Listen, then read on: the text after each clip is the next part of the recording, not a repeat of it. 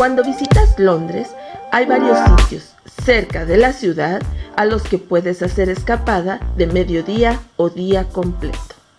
Entre tantas opciones, nosotros decidimos ir a dos, Stonehenge y el castillo de Windsor.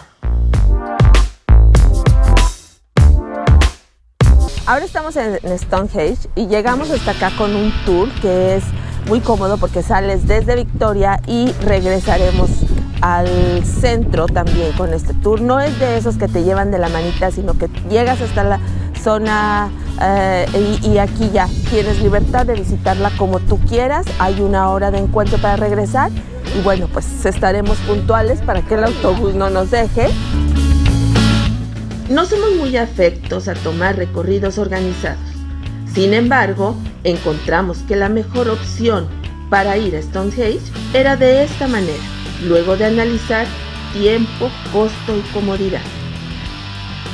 El trayecto desde la estación de Victoria toma unas 3 horas para llegar hasta el centro de visitantes de Stonehenge.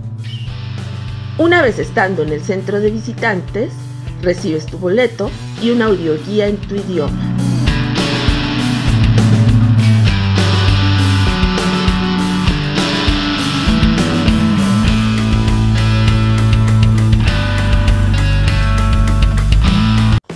A diferencia del tour organizado que tomamos para conocer Stonehenge, encontramos que la mejor opción para ir al castillo de Windsor era por nuestra parte.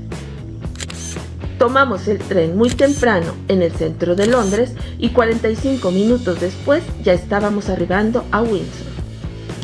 La entrada al castillo de Windsor está muy cerca a la estación del tren. Al llegar ahí, compras tu boleto, recibes una audioguía y podrás recorrer tranquilamente todo el castillo